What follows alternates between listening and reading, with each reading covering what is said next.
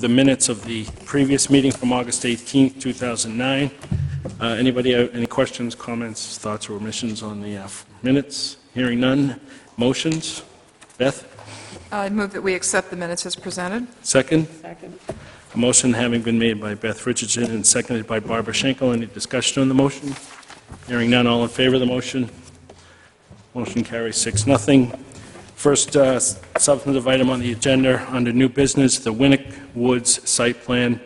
Uh, The town of Cape Elizabeth is requesting site plan review to expand the parking lot for Winnick Woods, a 71-acre open space located on Sawyer Road, under Section 19-9 site plan review, and it's on for completeness and public hearing uh, this evening. If the applicant could step up to the microphone, introduce themselves, and hopefully the audio-visual works, Yes, it does work. and uh, make the presentation, the board will consider it. Thank you.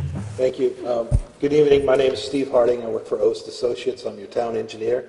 I have with me tonight Julie Dooley from the Conservation Commission. We're here to present uh, the Winnick Woods uh, subdivision, uh, excuse me, site plan. Um, Let me make sure I get this right. Beam somebody. Um, I was going to try to increase the magnification if I could, Go up there to the 21%. it's, uh, Do it? Right there. No, next one over. there. Does that do it? Yeah, it will, You want to go over where the plus sign is on the other side of the 21?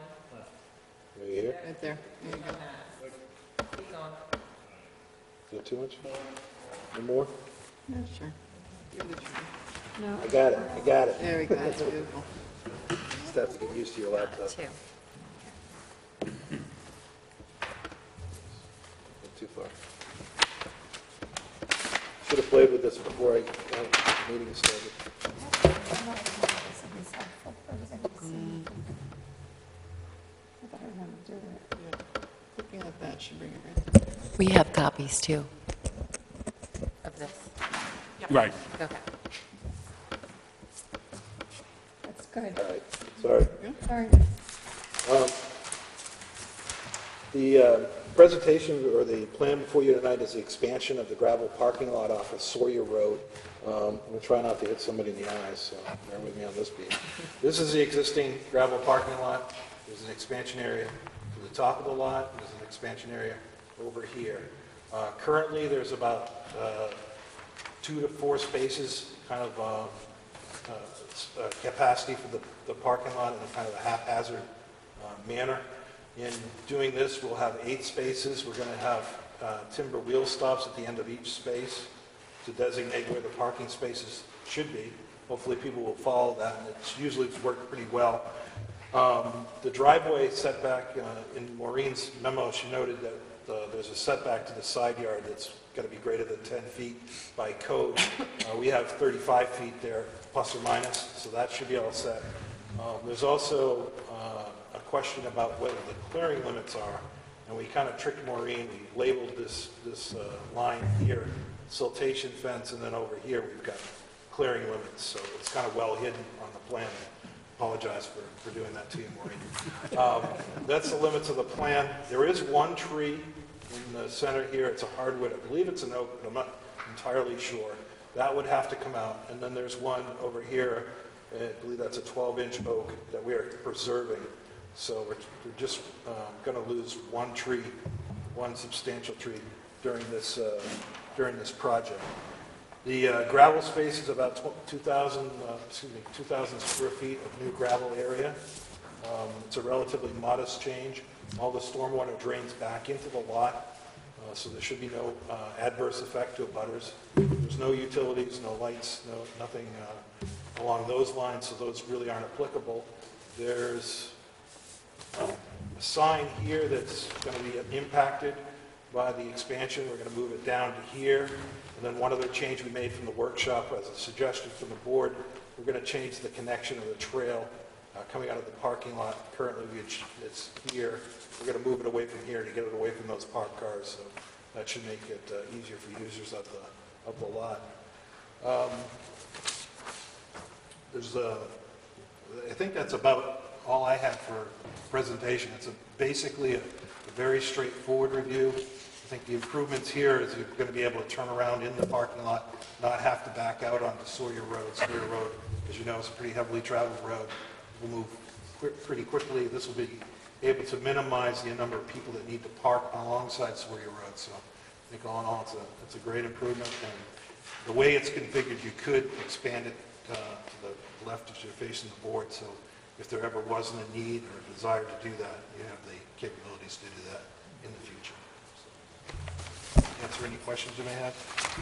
Oh, I have none. The, um, the first item we have to consider is completeness. So why don't we take that first? Uh, And I would ask the town planner, are there any open items that you see uh, concerning completeness, Maureen? No.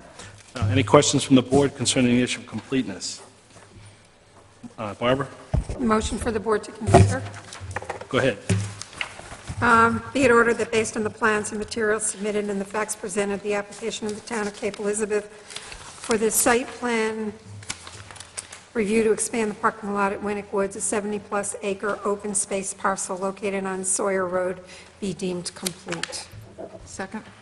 Uh, Motion having been made by Barbara Schenkel and seconded by um, Beth Richardson. Any discussion on the motion for completeness? Hearing none, all in favor of the motion? Motion carries six, nothing. Uh, And we had noticed this out for a public hearing. I'm assuming at this point the applicant has nothing further to add to their presentation. That's correct. As such, I'll open the public hearing and invite members of the public to come up and make any questions, uh, give us any questions, comments, thoughts. Going once, oh, go ahead. Uh, My name is Bruce Moore. I live in 1108 Sawyer Road. If you went 25 feet from that old farm road, you'd see the end of my house. On the right in that plan? Yes. Okay. No, yes, as you look at it on the floor. And uh, uh, we're the only house in the middle of Winnick's Woods. Uh, We're the old uh, stone house with the attached greenhouse on one end, and myself and Jan Chapman, my wife, lived there, and we actually worked with uh, Maureen and the planning and the uh, Conservation Commission to come up with the original parking lot and try to keep it from being closer to our house. And um, we did send an email to the uh, committee asking that you please consider um, improving the buffer between our house and the parking lot. If you expand the parking lot, it's just a matter of privacy. When you walk out my front door, there it is. And there are three um, hemlocks that were put up before. It'd be nice if that were, especially since you're expanding the parking lot on the side towards our house. Uh, Originally, we were hoping you would just go away from the house uh, in the expansion of the parking lot. So it would, it would be nice if you would consider that. And uh, just uh, for your information, you know, living next door, we get to see what goes on. Then we come home from work in the evening and see uh, the cars in the lot. And I'd say, you know, two or three times a month, there's like a a bicycle group that comes, and they do fill up the parking lot. But on the average, it's two or three cars in the lot on a regular basis. And it's, it's popular on the weekends, so sometimes you'll see four or five in there. But it does accommodate five or six cars as it stands right now.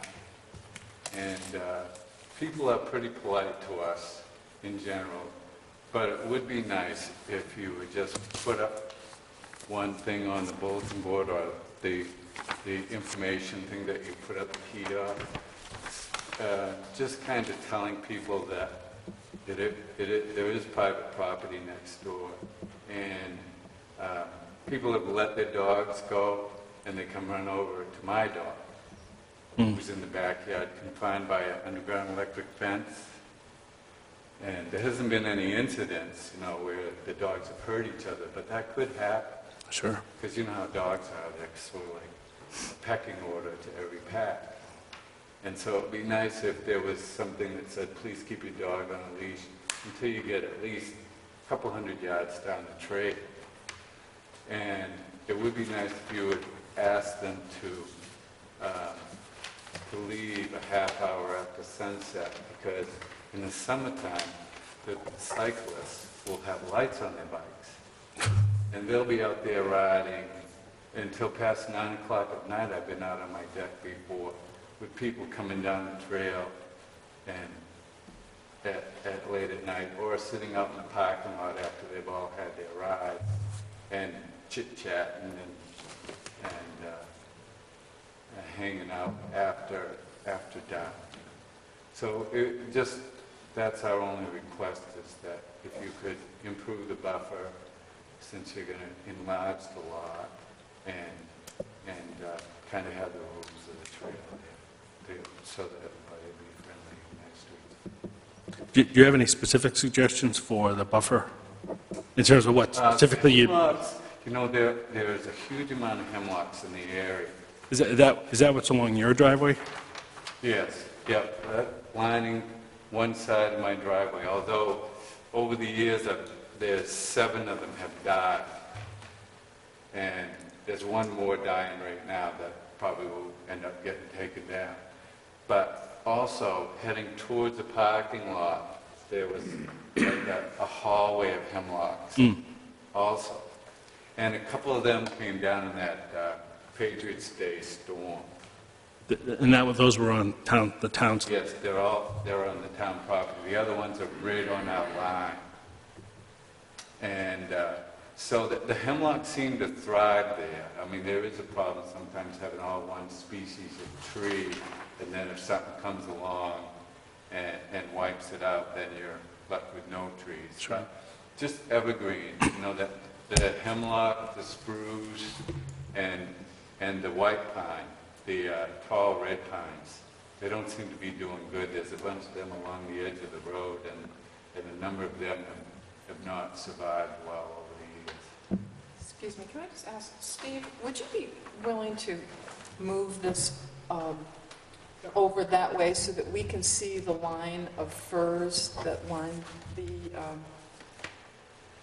edge of the Chapman's property? Yeah, if you just go, you go on the blue bar, pull the blue bar over to the right. Click on it. The lower left corner of the keypad works best. We've got an arrow in the bottom right-hand corner. Yeah, or, Oh, that one, yeah, right. Other one, Other way, other one. the other right. There you go. Oh, yeah, try to go the right direction. Oh, that would- There we go, that's So what you can see that's the end of my driveway, um, the end of my uh, garage that you see there, and the front door is right next to that. So what So are, that- what are that the line- firs that are being shown? Those are hemlock. Okay. But you And they're suggested, Quite tall and old. There, there have been, over the years, like I said, seven of them have died, and there's a couple further down the old farm road that are not doing so well now that may, may not make it. But, um, you know, but I'm not worried about that because on that little space right next to them, that's sort of like a, uh, you can see where my driveway comes over and connects, that little space in there, my driveway's uh, almost like a circle on the other side of that. I've planted a number of rhododendrons and American cranberry, and they're doing, they're doing well. And I'm hoping, you know, as the hemlocks die, the, the, uh, the other evergreens get bigger and, and help me on that side. What, what is more direct is where the hemlocks are now, I think they're delineated up. Are they not, those, the three, There are three over here in the middle. There's, those, uh, are those the three hemlocks that were planted? yeah, they- they're called out as bushes. Oh, they're Okay. bushes. Three, there's one there, one there, Okay, yeah, and and those are doing well. And uh, uh, so if you could put some more further on down, especially where you're going to expand the parking lot going in that direction, just a couple, because that is kind of the row of hemlocks that is, that has got hit in the storm. So if you could put some more around in there. I actually uh, planted a rhododendron on the town's property. I I had talked to Maureen about that, and the roadies are good. They, they take a while. This one took a hit when the pine tree lost branches and kind of fell around it this winter. But it's doing well. It's about four feet tall, and they can get to be 15 feet tall, so they do a good job. Plus, you get the flowers and, the- and all that kind of stuff, so anything like that. But those are more expensive than buying. Could I, ask- could I just ask you a question first? The, um, the expansion that you're referring to, that, those are the three spaces that are on the back? Yes, Okay. on the downhill. So the really, the expansion's not coming out toward you, toward you, it's going Well, just in the rear Right. parking lot. the rear, the rear? Right. Yeah, okay. Yeah, we just, you know, we were just, the way it was originally designed, you came down that drive, and everybody was supposed to park over to the left, away from our house. But of course, you know, people do try to pull straight in. It's close to the And trail. I have no problem with that, as long as, as we can keep our privacy and, and just have a good buffer between us and them, because uh, natural buffers are, are what I like, and it's mostly wooded. I have a very small clearing in my backyard, and it's almost all concrete. I have some comments. Sure. um, Based on what you've said in my visit today. So I visited after five with my dog and my four-year-old son, and the parking lot was full. I pulled in um, just as someone was pulling out, and then, so there were three cars, and then um, somebody elected not to pull in because the parking lot was full. So in some cases, people might jam the parking lot right now, but um, I, from my single experience, it was heavily used and in need of expansion. Um, I went to the kiosk and I was surprised that, um, other than a trail map, there was no information about dogs or when you were allowed to visit. And somebody came running, uh, or two dogs came running at me that were off leash, and I love to see dogs off leash. Mine was on the leash, so, uh, but I was, I said, oh, is this off leash? You know, I don't, I don't see any signs. And so I am sympathetic to dogs running into your yard, and I think you have a good case for some signage. Um, maybe leave your dog on leash for 50 yards. Um, I did take note that I thought your house was pretty far away from the parking lot and well buffered by trees. And uh, I live in a really close-knit neighborhood, and so by my measurements on this map, um, your garage is 100 feet away from what will be the closest uh, parking space to your house. And- Well, it's and- it's 25 feet from that line. The, you see the line of trees? Uh-huh. My garage is 25 feet from it. From there, okay, yep, and then Okay. that's, uh, you know, 80 feet over The to Yeah, maybe is 80 feet. probably uh, 10 or 15 feet, and then you do have that land there, so. Yeah, so it You're seemed pretty well somewhere buffered to me, and, 75 and, and I, I think you would have uh, maybe, you know, a less pretty visual view if a house were there. So I, I guess I'm, I'm not sympathetic to your request for planting trees um, at the town expense. That's just my view. And, um, but I, I really appreciate your comments on the dogs and the um, timing after sunset. I think that those are great suggestions. Okay, thank you. You all set? Anyone else- else wishing to speak concerning the application? Uh, Does the town wish to offer anything? I I don't know. I guess, you know, just echo Liza's view, when we looked at it, we knew we were expanding, but we were expanding to the back and to, Sure. to the left and away from the house, so we felt that the, the area was relatively well buffered as it was. Sure. And that's why we didn't propose any, any buffer. Leave it to the town manager. Yeah, I, I just wanted to speak about the leash, leash issues. Uh, The town has a dog ordinance, and it, it- my recollection is it allows dogs to be not on a leash in the unimproved areas of the Old Town Poor Farm, the Thomas Jordan land, as well as in the back end of Fort Williams. Beyond that, dogs are supposed to be on leash within Cape Elizabeth. And, you know, I, I agree with the sentiment that it should be posted. I would get nervous if the planning board started developing its own leash provisions on separate pieces of town property. So, uh, you know, it- I think that the point's well taken, that it, it should be posted. And furthermore, you know, the issue is, you know, if you want to put limits on, on the parking lot in terms of, you know, hours of use, that there would be no objection. Well, that was my question. What are the present limits on use? Uh. I, I don't think there are any, there are any, I mean, as far as hours, Right, I don't believe there are any. okay. And is that something the town council would need to take up? I mean, uh, it's a, pu- it's, it's a public, li- it's owned by the town. That's what I was going to ask. It's within, my understanding is it's within the rights of the planning board during site plan review to establish hours for any applicant, and the town would not be exempt from that. Thank you. I do need to run to another No, meeting. that's fine. Not from disinterest, so. Thanks for, Any questions? no, I I don't have it. What about buffering? Uh, I would defer it to the wishes of the planning board on that. Thank you. Thank you, Matt. You can step up again.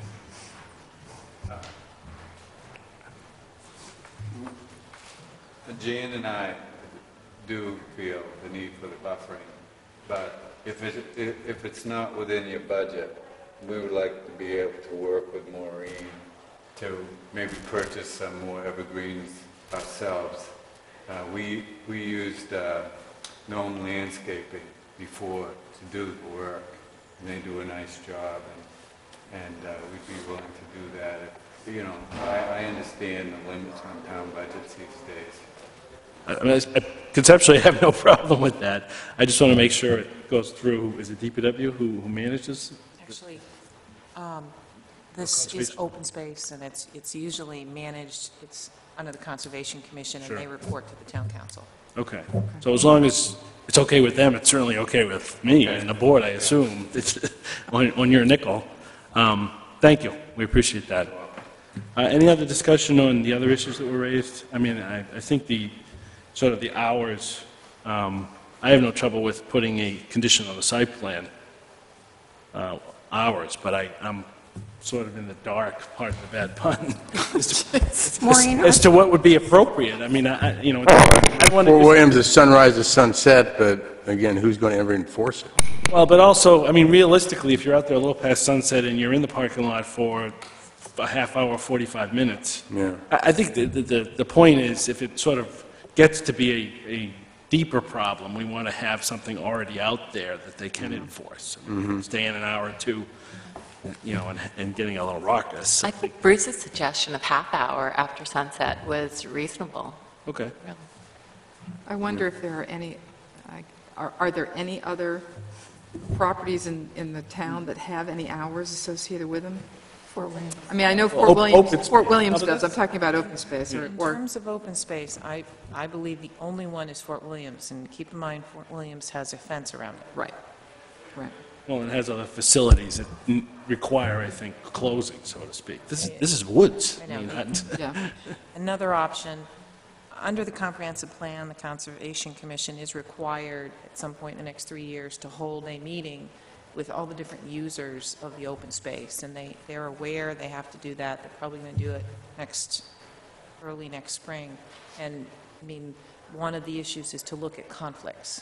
I mean, in, if you were, if you were not ready to set limits, you might instead put a condition on it that the Conservation Commission review that issue. I, I was at Conservation Commission meeting, was really hoping Judy would get up and say this stuff. by the looks of Judy's Where- face, I don't think Judy's going to do this. Where the, they, they under, they're, they're looking hard at Winnick Woods right now. They've spent a lot of time and effort in building trails, um, and they know they have some management issues they need to work out. They've already given me a list of signs that I need to prepare. So this may be something you could send to the commission with uh, a request for them to please look at these issues if you weren't ready to actually make this decision yourself. I, I kind of like that idea. I do too, yeah. I mean, I could clearly envision an evening use for this, you know, some sort of Audubon trip in the woods if something were discovered there. But- And I wouldn't want to put that out there as a no, as a condition of a site plan, you know, at this Couldn't hear what you, I couldn't hear what you just said. I said. could, I can envision an evening, use, a potential evening use that wouldn't, nec- you know, wouldn't be a problem, you know, an Audubon trip in the, in the evening, or, you know, later evening, if something were found out there that people wanted to walk in the woods for. And I wouldn't want to put that as a condition of site plan review. I, I kind of like the idea that Maureen put out there. Okay. Uh, Any other discussion? Have there Sure. been any teenagers partying out there late at night or anything? No, no, none, you know, these numbers are Hasn't been an issue that I think If you could step up to the microphone, we can't get any of those comments on the record, and it doesn't broadcast from the uh, audience. I, I learned that last night, watching the Yeah, that- that came up when, uh, actually, uh, town manager Michael brought it up, before when we were doing site plan review of the master plan for Winter's Wood. And uh, I think, you know, there's such a regular patrol with the uh, police force down Sawyer Road. It's sort of like this big loop around the town. And that it hasn't been an issue. No, it's good, all right.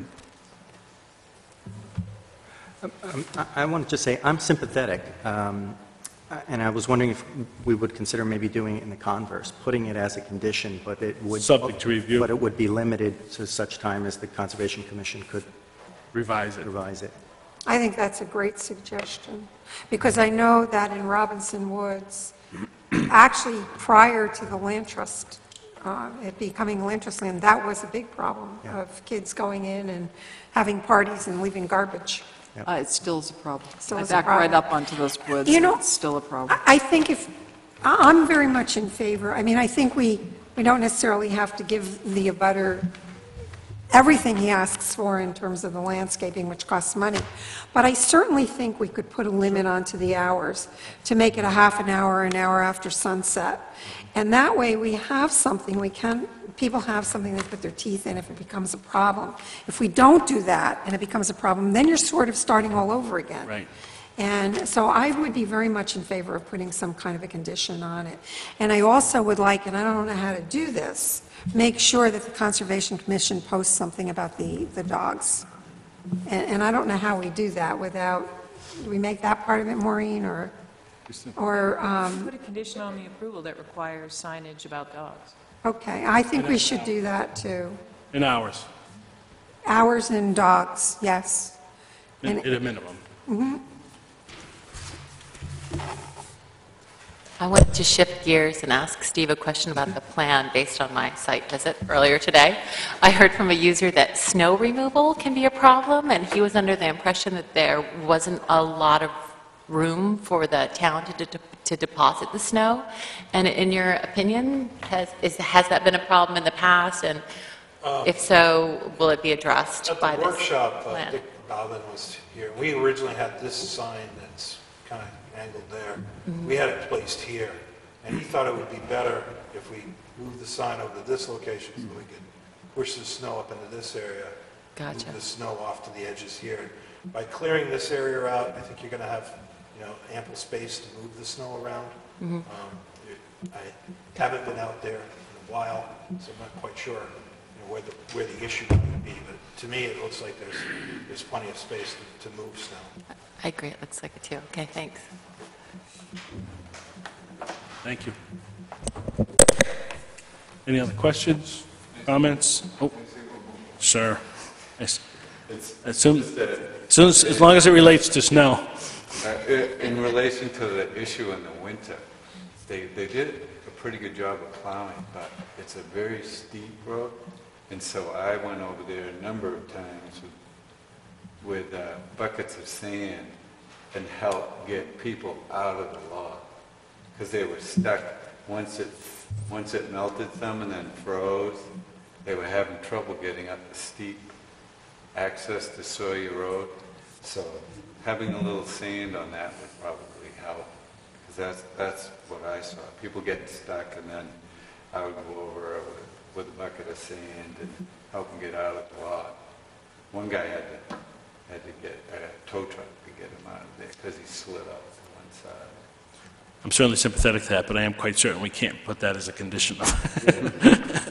No, but I'm thinking maybe you could advise those individuals to give the town a call. Right. Give them a heads up to, thro- so they can throw some sand on the lot.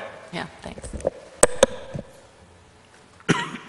Any other questions, comments, thoughts, motions? Mr. Chair, Oh, wait, make a I I motion. do need to close the public hearing, remember right. Thank you. Mr. Chair, I'd like to make a motion.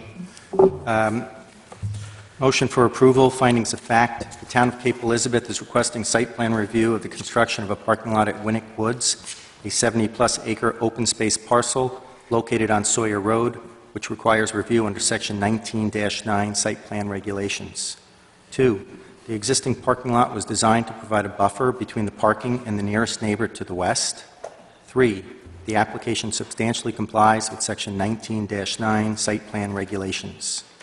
Therefore, be it ordered that based on the plans and materials submitted and the facts presented, the application of the Town of Cape Elizabeth for site plan review to expand the parking lot at Winnick Woods, a 70-plus acre open space parcel located on Sawyer Road, be approved, subject to the following conditions. One, that the applicant limit hours of usage to close the parking lot one half hour after sunset, subject to review and revision by the town's Conservation Commission. And two, that the applicant post signage regarding use restrictions, including hours of usage, and that all dogs must be leashed at all times.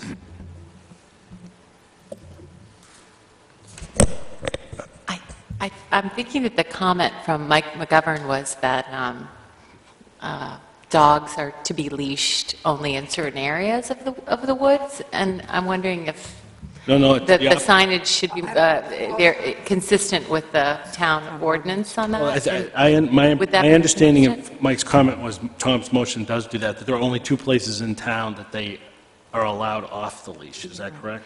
And And this- and are this is those, not one of are them. those connected to No. this trail system? Oh, I thought they were. Pardon me, okay. And isn't there another Do- point two for three? What was that? That Barbara, you have a Plans question? be revised to show a limit of construction line that preserves the existing vegetation. I vegetation. think that's done. That's Oh, done. that's done, I'm sorry. Okay. So we have Tom's motion on the floor. Any other discussion on the motion before I ask? Since we're closing the park, do we, or the parking lot, do we also need to open it in the morning? Yeah, I wondered about that. Do we want to put a half hour before? How far before sunrise? Uh, It doesn't sound like that's an issue, though. I guess it'd be okay for first day, and then it's closed all the time. There you go. That's a friendly amendment. Yes, accepted. Okay, so we have a motion that's been amended. Any other questions or comments before I ask for a second? How was it amended? I didn't, Jim wanted it inserted in there, the, it opened, the motion is stands that the park opens in a half hour before sunrise and Yeah. closes a half hour after sunset. I think Tom just forgot, or, I'll give you the word. yeah. We'll get- We'll get you the language. can't that. That's fine. Can I offer a second? Okay, motion having been uh, made and amended by Tom Dolan and seconded by Beth Richardson. Any further discussion on the motion? Hearing none, all in favor of the motion? Motion carries six, nothing. Thank you very much. Next item on the agenda tonight is Cross Hill Lots 1 and 21 subdivision amendment. Juan Perez, mispronounced, how do you pronounce it? Fe- Febles is requesting an amendment to the previously approved Cross Hill subdivision to shift the common lot line of lots 1 and 21 in order to include an existing driveway entirely on Lot 1 under Section 16-2-5 subdivision amendment.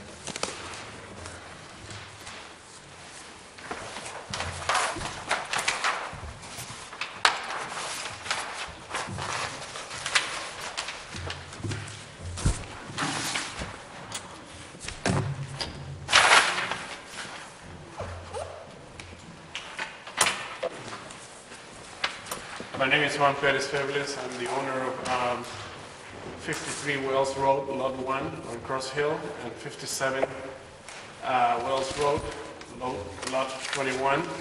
Uh, I'm requesting uh, to uh, move the line uh, right here on Wells Road uh, between Lot 1 and Lot 21, so that the uh, driveway that is now existing on Lot 1 is fully within Lot 1. Um, I may um, consider the option to sell one of the other properties in the future, and I wanted to clean it up so that there wouldn't be any problems of fighting among the future neighbors and uh, just make it a lot cleaner and um, more defined. Um, It's a very small area, and I think you can see it right there in your, um, in your uh, map and your plan. So um, with that being said, if you have any questions, I'll be, I'll try to answer them. Go ahead. How was it that the driveway ended up uh, on the lot line? How was it? Well, I bought this house back in 1976. And um, then subsequent to that, I acquired the, um, the land next door. And when the, uh, I paved it, you know, not thinking that the paving had actually extended onto the other property that I had acquired. And then when they uh, began to set pins, I realized that uh, about a third of the driveway was on the other lot. And uh, something that, you know, since I own both properties, it wasn't an issue.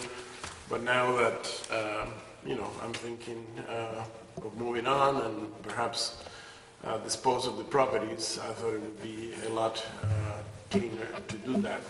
In, in conjunction with that, I have also, um, which has nothing to do with this, but for your information, I have also moved the electrical service to this building here, to this area, because it currently runs from this pole uh, through the, through the, the yard between the two. uh, So I'm, I'm just trying to clean up the whole, separate both properties so that they can be wholly independent and free and encumbered of each other and avoid future issues, you know, with new owners or whatever, you know. I guess it was just a lack of foresight on my part.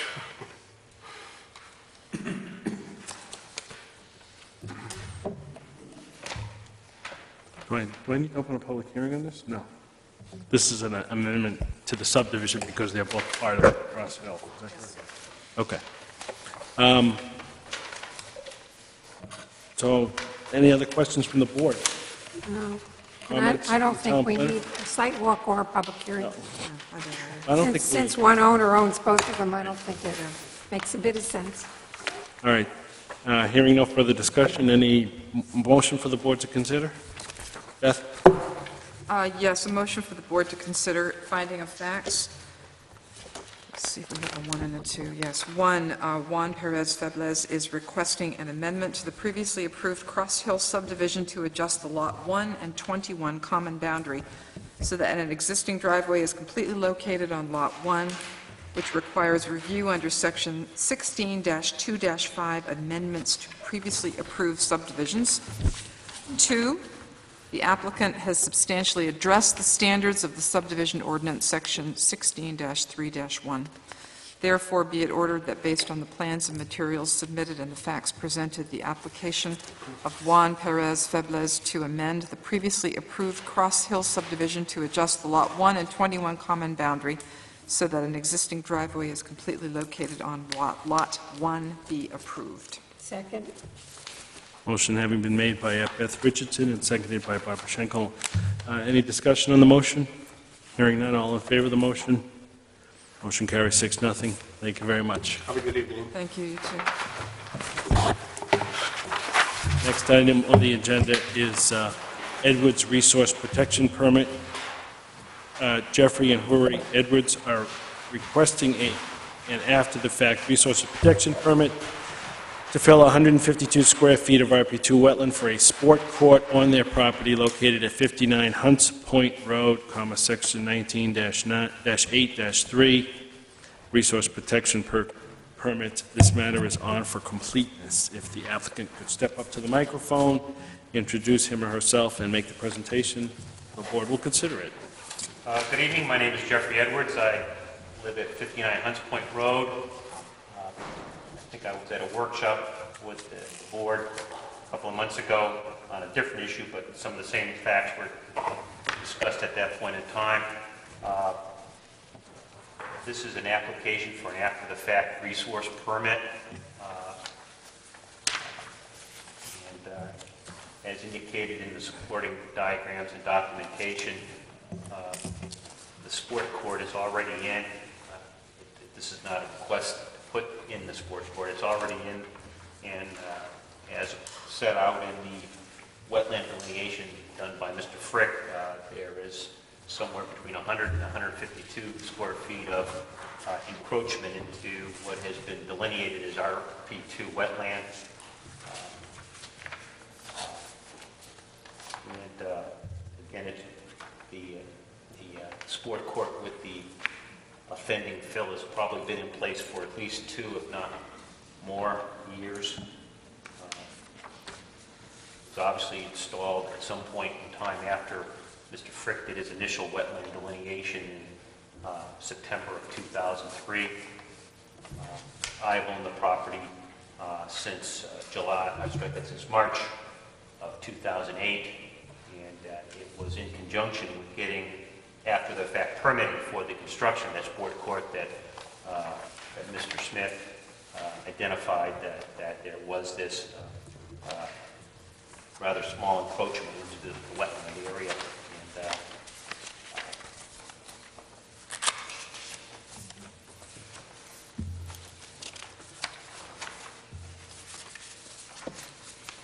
I guess my basic uh, application here is that, uh, again, the wetland itself that was filled is is relatively small. It's basically revegetated. Uh, There's, it's uh, all fill, it's it's not the sport court itself. Uh, And I would request uh, uh, that, that the, uh, the, an after-the-fact resource permit for what's already in place. It's kind of an awkward way of applying for an application, applying after it's already in there.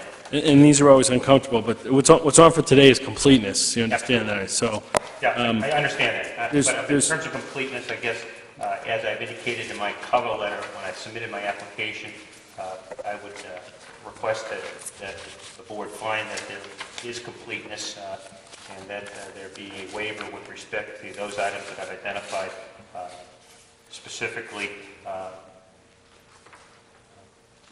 I would request a waiver with respect to uh, items uh, two, five, uh, six, and nine, uh, in terms of the criteria for an app- a a resource protection permit under, uh, under section 19.83 of the uh, zoning ordinance. okay. Thank you. And ag- again, for the most part, I would submit that the the request for the waiver is based upon the minimal nature of the encroachment. Sure. Well, two two of the four, the town engineer supports your request for the waiver. You are aware of that, right? Yes. Okay. And- And the board members have any questions, comments, or thoughts concerning the, issues concerning completeness? As well as the, am I talking too much, Jim? Um, Then the, uh, we can, we can move the matter forward. A- Any other questions, Jim? Just curious how this all came to light.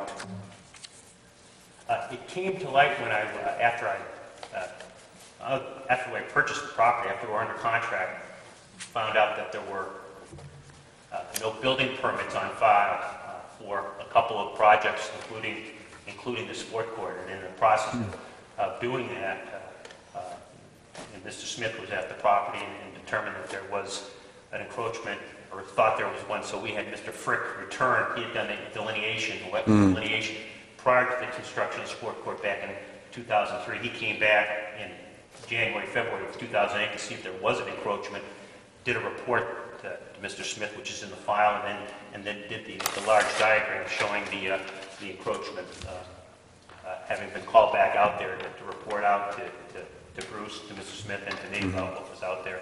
Uh, And then Mr. Smith issued an after-the-fact building permit, I believe it was a building permit, not a wetland permit, an after-the-fact building permit, subject to uh, either getting an after-the-fact uh, resource protection permit or removing the offending material.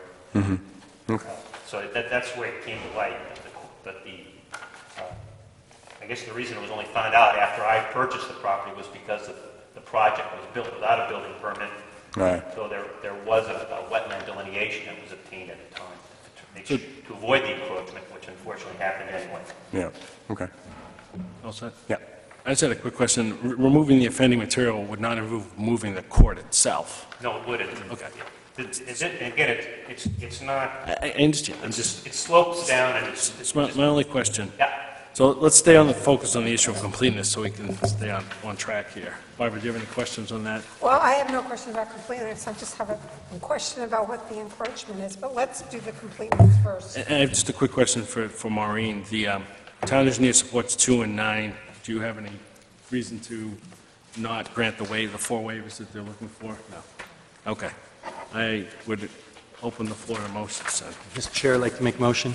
Please do The so. board to consider a motion for completeness, be it ordered that based on the plans and materials submitted and the facts presented, the application of Jeffrey and Marie Edwards for an after-the-fact resource protection permit to fill 152 square feet of RP2 wetlands for a sport court located at 59 Hunts Point Road be deemed complete. Second. Liza. Um, Motion having been made by Tom Dolan and seconded by Liza Quinn. Any discussion on the motion? All in favor of the motion? Motion carries six, nothing. Uh, Then, the next question we have is both the site walk as well as the public hearing. Uh, I personally have no reason No. to site walk. I- No. I don't familiar need with to. the site. No. I mean, do we need to do either? Do we need a public hearing? Well, the only question is, we're on for the next meeting, correct? Meaning. Well, I have October a meeting? question about And- that. And noticing it out, well, do we, do we need to? You're not required to hold a public hearing. Right, but So does we he have could, to have- we come could back? approve it If you tonight. are going to hold a public hearing, you have to send a notice out that says, we're holding a public hearing, so you would have to wait until next month. Right, but is it possible to consider the approval? this You month? can grant an approval without a public hearing. Well, I would suggest that since you know, we've got an independent opinion right here by the town engineer that it's all been revegetated and it's 152 feet, and I'd like to suggest that we approve it tonight and not make this man come back again next time. I support it as well, and because it- the sports court has been there for a while, my youngest son has played on that sports court, I don't see any reason for a public hearing or to, or to have the Edwards wait. I have a, a question. From, from the plan, it seems to me that the sports court isn't on any encroachment. It isn't. So what's encroaching then? It's the fill, Barbara. Fill, there's, there's fill that, uh, this is basically a frost wall on a frost wall, and, and the- and the encroachment is the fill that's been uh, put there as kind of a bulwark to hold the uh, foundation in position. I It's- see. It's, it's it's on a slope. And now that fill has been completely revegetated, so Yeah, it's- it's grown back. according to Yeah. Oest Associates. Yep. Right. I'd like to suggest we just approve it. Yeah, I- I'm starting to go in that direction mostly because I just don't see realistically us asking him to haul it out of there. No. It's, it could make the No. situation worse. So um, I'll open the floor to motions. Well, before we do, I'd like to make a comment. I I totally agree. Um, However, I'm concerned about the precedence of it, that to the extent any homeowner makes a- any form of a modification to a wetland, and then a subsequent homeowner who takes subject to that knowingly, um, that we're just saying it'll be okay. I recognize the de minimis nature of this. I recognize the fact that to go in and say taking it out would be a bad thing. I also recognize the Albert Frick's letter saying that, you know, in his professional opinion, that there could be some uh, variability with regard to it. But I- I just don't know how to, how to, in any way, do something about the, it's okay. And and I I echo that concern. I always try to approach these after the fact with some sort of blinders on and say, let's pretend, let's pretend this is here and it's not constructed. Would we give this permit? And and my answer in this one is probably not the way it's sitting right now. We probably, had we had the opportunity to comment ahead of time, simply ask that it be moved or constructed in a different way. But that seems uh, somewhat unrealistic at this point, and given all those factors we've discussed, I have no trouble distinguishing this in the future, but I'm, I'm, this is the second one we've granted in, in less than two years, and I'm getting a little nervous about what other ones are out there. Well, I do, we, we have had other after-the-fact issues Oh, that have no come in question. front of us that we have not granted, if I mm. remember correctly. And I guess what distinguishes the one that I am thinking of with this is that the town engineer has reviewed this, doesn't see a problem. That wasn't true with the other one, or ones that I recall. This is de minimis, the other ones were not. Um, The other ones had more a likelihood of being able to re- replant, remove, revegetate, everything else. So I guess I, I see this as different enough from some of the more significant things we've dealt with um, to, s- to support just going ahead with approval. I'm curious, did you pay a fine, or did you have to pay a significant amount of money for the after-the-fact building permit? No, they, they were issued. They were issued. I mean, well, time out. I, I believe there was a fine, but I think it was paid by the prior owner.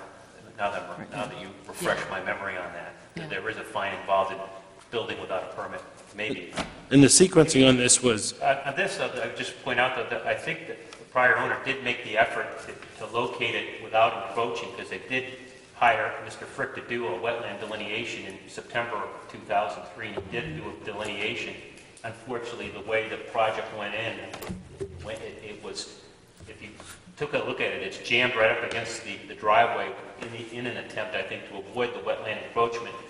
So I think there was a good faith effort to avoid the encroachment. It wasn't in disregard, and they did make the investment, for the prior owners, to have Mr. Frick do the wetland delineation so that they had some guidance and But they didn't, but they didn't pull the building permit. So They they spent all this money on a wetland site, and then, and then built it, If I so, had been there at the time, I would have done it myself, and I would have gotten a permit, but I, I- I can't speak for them. I They didn't do the permits. I mean, they hired competent people to do the work, and fell through the cracks. and the sequence, as I understand it, is you, you you didn't know it before purchase and sale, but you did know about before you actually closed. Oh, absolutely. Okay. No, I- Just want that record to be That's why Mr. Frick came out and and- and did Again. this delineation. He did that at my request to to- to clean it up and and answer questions that Mr. Smith had about, you know, the location of the, of the, uh, of the improvement in relation to the wetland delineation. So, and this, this di- this wetland delineation, I think was in the town's file. This one was? An earlier version of it was already in the town's file. I I don't think it's going to have any bearing upon my decision tonight, but I would like clarification with regard to, is there a fine imposed? I, I don't know what the monetary issue was, but I can tell you, the only person that, that, uh, that assesses fines is the town manager. It's not very often. What does happen, um, and I don't know if it happened in this case, but usually, if you apply for a permit after you've done the work, it's double the, the permit fee. So it, it easily could have been whatever the value of the sport court was, $10 per thousand times two. And maybe that's what you're I may referring have to. spo- I may have misspoken. It- That's probably what was, that was the money, I think, that changed hands when the permitting was obtained prior to my closing, was the, the the payment of what was required for, And who- And who paid for the, he paid the Some of prior, it. for the whole permit? well, for the permit for this, and Application. and then a couple other projects that were inside the house that had not been permitted. And they ended up paying double because they were after. I I suspect that's the case. But They, they, I didn't mean to suggest they were fines, I just know that there were, there was payment. Enhanced payments. Yep.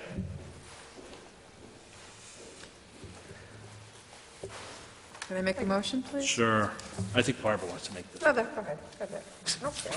Could arm wrestle over it? Um, I have a motion to approve. Uh, Be it ordered that based on the plans and materials submitted and the facts presented, the application of Jeffrey and Horry Edwards for an after-the-fact resource protection permit to fill 152 square feet of RP2 wetlands for a sport court located at 59 Hunts Point Road be approved.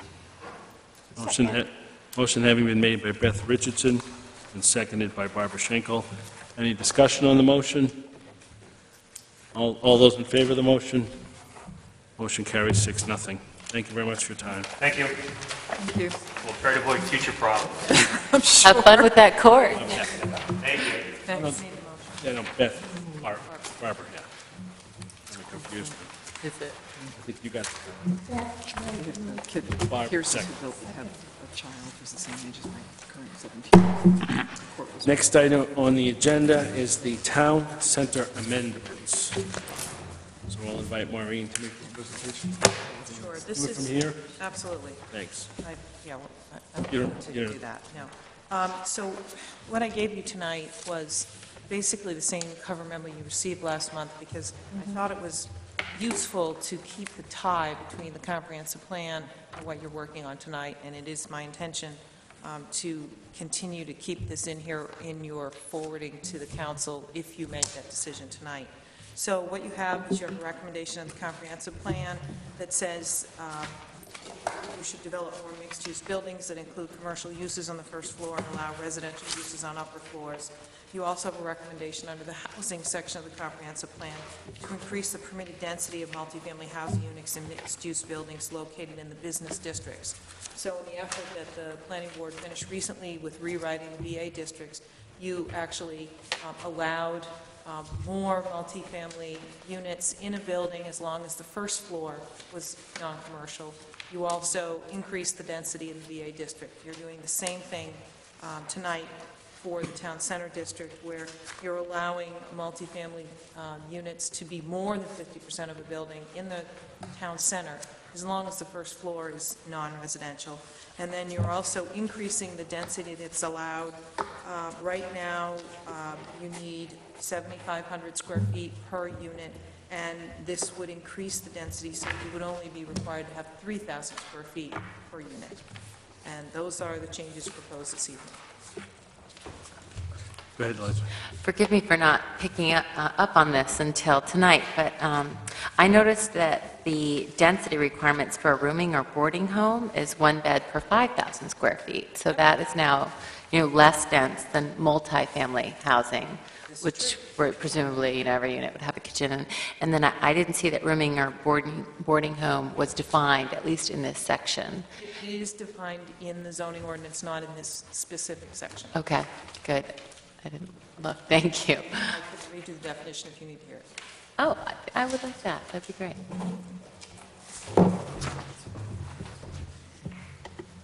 We have noticed this for public hearing, so after we have... Yes, I think there's one person. Right, so we're going to go through it quickly in terms of the outline, because we've done that uh, in our workshop session, and then I'll open the public hearing, and we'll take our comments, and then we'll, In the, in the, in the section of the zoning ordinance, it has all the definitions of rooming or boarding home is a house or other residential structure that is maintained wholly or partially for the purpose of boarding for compensation, more than two residents and not more than nine rooms, and that does not provide a supported services program, which you have to look under the definition of services, supported services program to know what that is.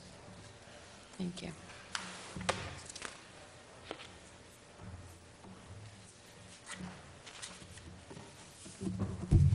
So, yeah, I- I'm curious to know how people feel about having um, rooming or boarding homes, ha- a less, having a less dense yeah, that's- standard. that's actually what I was thinking of. What's the effect of leaving it? Yeah, Do we want to match them up? Do we want to leave it the way it is? We want to encourage multifamily housing in a mixed-use building, but discourage or sort of leave the same, the standards for right. rooming housing. And I go back to the comprehensive plan, housing goals. and we Well, I, did I that. think one of the things that we talked about in the, uh, the comprehensive plan committee was, we had somebody actually come in and talk about how you can develop more affordable housing and how, um, and how, the one thing, the one way you can make it affordable is by reducing a land area, because the land is so expensive, that if you have to have one unit per 5,000 feet, then you need that much more land in order to develop the property. And I think the rooming and boarding homes can go into residential neighborhoods. The, um, the multifamily housing in a mixed-use building cannot.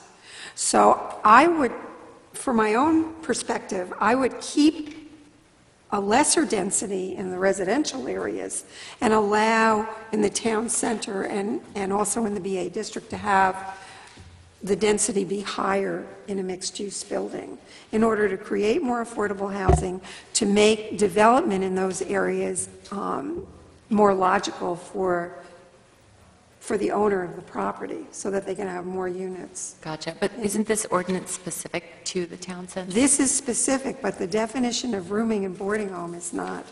You're not going to see, you can't, you- I don't know that we want to change the density in one area for rooming and boarding homes and not in another area. And I'm not sure that's good policy.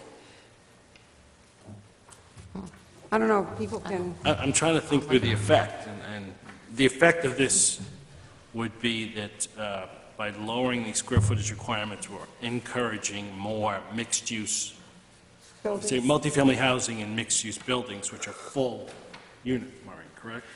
Yeah, And, and room, go ahead. You- I think you want to be a little careful with adjusting the rooming and boarding home definite, uh, density. I agree with Without really that. taking a look, I mean, rooming and boarding homes is really a different type. It's totally living different. Unit. It's not a full dwelling unit. Right, right. Um, I- I've, for another community, did a lot of research on this, and at the time we put it in there, we did the research, we thought this would fit, no one has elected to put one in. I'm, a- I'm just a little concerned if you start changing that density, you, you, we haven't spent time looking at what the consequence of that would be. And I'm not in favor of changing the density for rooming and boarding homes. I, I just want to think through Liza's point, which is, are we having an, under- is there a possible, a possible unintended consequence of putting, pushing it the other way? And the answer is, the intended consequences were encouraging full units, multifamily housing, and by lowering the requirements, we're encouraging that over and above rooming and boarding homes, because you need, you would need more land per unit. Have I Right, that? but you've got in the backup town from the center. comprehensive plan saying, we want to increase the density, we want to have more of these, so. Oh, no, I agree. I'm just, I'm trying to make sure Not that... all by yourself on the I- I- multifamily. No, I, I, I agree with that. I- I'm, I'm just more concerned that there's something out there that we may not have thought through to some effect. And I, the effect, I only see that one effect, which is what we're trying to Yeah. do. Yep. And so we currently have no rooming or boarding homes in the town, is that right, Maureen? Um, None pop into mind. There Yeah. there might be someone who's renting out a couple of rooms that's been doing it for a long time, that never triggered any kind of review. Right, Um, okay. Okay. So by doing this, we're encouraging What we want to encourage. what we, yeah, But it's only in two areas, though. self-contained units. It's not going to happen What? next door to you. Why don't I open the public hearing worried. and take the comments, because that may, that may uh, foster more discussion. Uh, I'd like to open the public hearing. Anyone wishing to speak concerning the proposed amendments to the Town Center District zoning ordinance, you could step up to the microphone, identify yourself, and the board will take your comments. Good evening. Uh, Peter Constantino. I represent uh, Slick Rock, who owns uh, property on 349 Ocean House Road, which is in this planned area. Um, um, I- I You know, I'm for that amendment with the density change.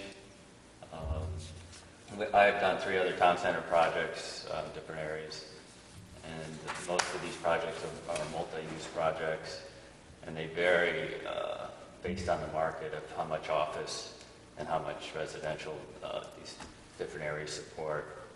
Um, Cape Elizabeth seems, uh, for the amount of square footage I can build on this particular lot, I can't fill it with all office. so It's, the market's not there to, uh, to fill the building. Um, So the residential part of this is uh, uh, really big in making this development project work for me. Thank you. Um, And I have uh, done some work with Maureen, we've talked about this quite a bit, and I've been working on it for a couple of years now. Um, But I've had a really hard time trying to get that office part of, you know, fitting into the way the, uh, the ordinance is right now with the town center. But having more residential would help offset that and uh, help fill the building. And uh, hopefully help with the uh, retail or office space on the first floor also. Thank you. Yep. Thank you. What- What is that site? Three- 349. It's the one right next to the driveway of the high school, Gotcha. just south.